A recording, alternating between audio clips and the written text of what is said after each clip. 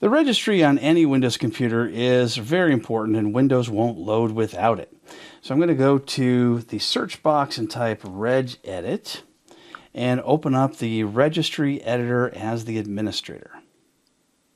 And once that opens, it contains five Hive keys. And underneath these Hive keys, we have a whole bunch of sub keys, and then we have values after that. So what I want to do is I want to show you how to import and export various different sub keys, hive keys, whatever it is that you would like to do so you can back this up or use it on another computer if needed. Now, most likely you're going to be in the H key, which stands for Hive key, local machine. And inside there, you're probably going to be in system or software or something like that. I'm going to click on system, for instance. And I'm going to go to software, which is a sub key. You see Microsoft and lots of different settings.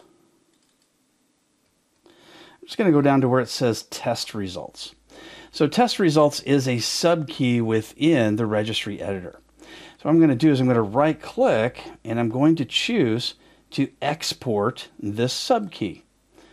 And I'm exporting the sub key. I'll just put it on the desktop, make it easy to find and I'll just type in test results.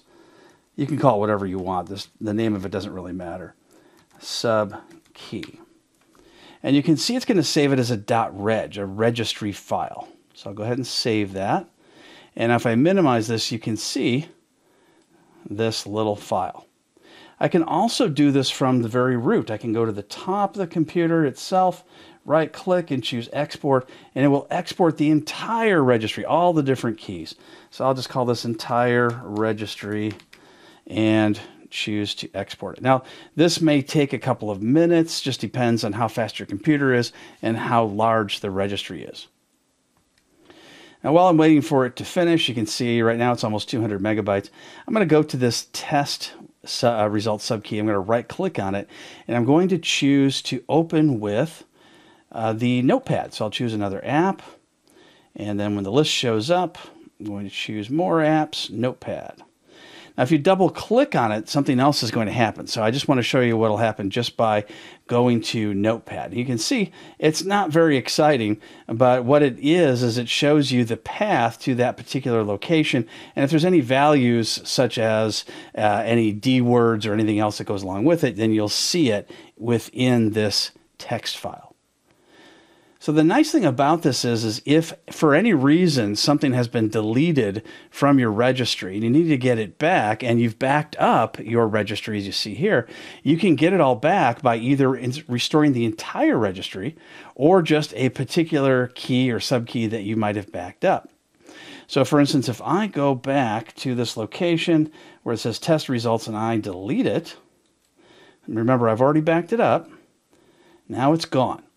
So I'll go back to the test results subkey. I'll double click on it and watch what happens. It's going to import that information. So I'll click OK, go back to the registry, and there's my test results subkey once again. And if I had any particular values on the right hand side, you would see those as well.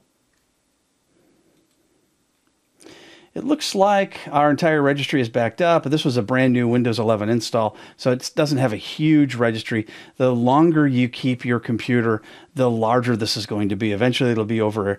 Eventually, it will be well over many gigabytes. And you'll notice that the larger the registry gets, the slower the computer becomes. But with a good SSD drive, nowadays, it doesn't really happen that quickly. It might take several years. So that is how you export and import the registry and its keys and subkeys in Windows 11. This also works in Windows Server 2025 as well as previous versions, although in previous versions you might notice that the user interface is slightly different.